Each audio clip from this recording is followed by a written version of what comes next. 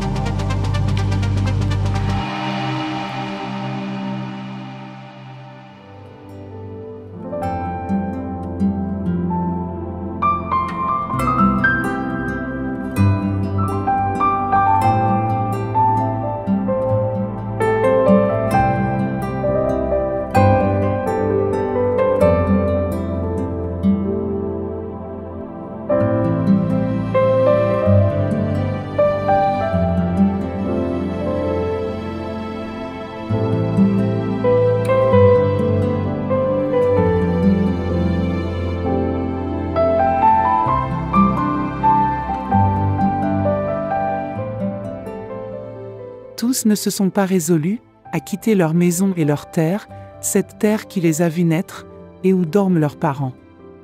Pourtant rien n'y fera, ni les larmes, ni la colère, et inexorablement les maisons, et les terres, sont détruites et livrées à l'eau, qui inonde les champs. Ce film, tourné par M. René Grosjean en 1973-1974, est un document, ou plutôt une mémoire pour que le souvenir du village et de ses habitants reste présent. Bien sûr, le temps a passé, maintenant le lac est devenu un site touristique important pour la région.